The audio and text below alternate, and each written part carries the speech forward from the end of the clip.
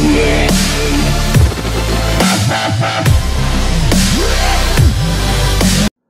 friends, you're watching Android Tech Solutions and in this video I'm going to show you basically this is the second part of the, our DNS server. So in that first part I've shown how to set uh, the IP address in the resolv.conf file but after you reboot your system the resolv.conf file is changed okay means uh, if I cat that file so it shows the file is managed by systemd resolve do not edit. But we are trying to edit it. And after the reboot if we give here our IP address in the name server it is changed. Okay? So I'll show you how can we set it permanent. Okay? Uh, means if you are trying to uh, ping or uh, do NS lookup of a particular your server you are not able to do it. Okay? So I'll show you how can we do that so there's a file in cd slash etc dhcp called dhc uh, dhc client dot configuration file. Okay i'll nano this file.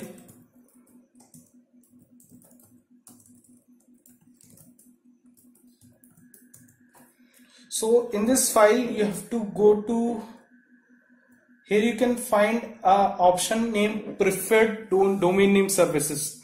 Okay and here you can see a loopback address. So this line is basically commented. So i'll just uncomment it. Okay. So here you have to give your IP address. Okay. The IP address of your DNS server which you have configured. Okay. So here I am giving my IP address of my DNS server. Okay.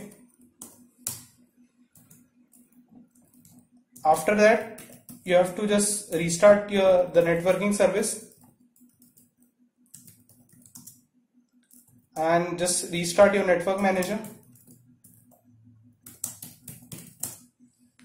After this you would be able to means after the reboot also your resolv.conf file means there will be no means there is no uh, usage of resolv.conf file anymore in ubuntu 18 okay? So we have to just go to the dhc client.conf file and we have to set the preferred dns name servers and your the dns server uh, which you have created the ip address of uh, of that okay. So that's it guys. Thank you guys for watching this video. Do like this video and subscribe